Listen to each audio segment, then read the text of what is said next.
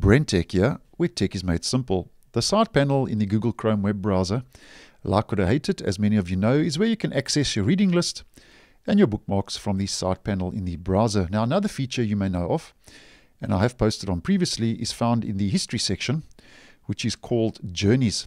Now, your Chrome history is listed by day, date, and time.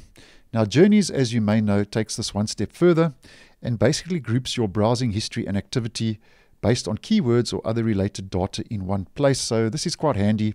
As an example, if you want to refer back to a certain topic or subject that you have been uh, browsing and researching, and all that data will be located in one place if you have turned on Journeys in Google Chrome. Now, Google has made two flags available in Google Chrome, which are basically going to unify um, the side panel by adding your reading list, your bookmarks, and journeys now to the side panel in the browser.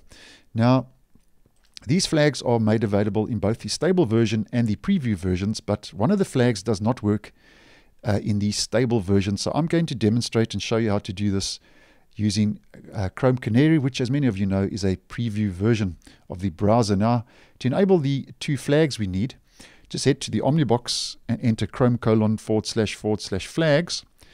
And in the search, you just have to type in side panel. If you just enter side panel, that's enough to bring up the relevant two flags that we are going to need. And the first is side panel journeys, which by the way is the flag that won't work in the stable version. It says enables journeys within the side panel. Change that from default to enabled. And then the second flag is unified side panel. Revamp the side panel experience. Change that from default to enabled. Relaunch Chrome Canary to apply those two flags. And now if we head back to the side panel, you can see it looks different and we have a, a drop-down menu and the default option is reading list. Then we can go to bookmarks. And then as mentioned, it now adds journeys to the side panel as we can see. And then we have a three-dotted menu which says open all in new tab group, which is going to take all of those sites and open them all up in one convenient tab group. But at this stage, if I click on it, nothing happens. And this is early days as it is an experimental flag. So this could be something that Google will work on in the future.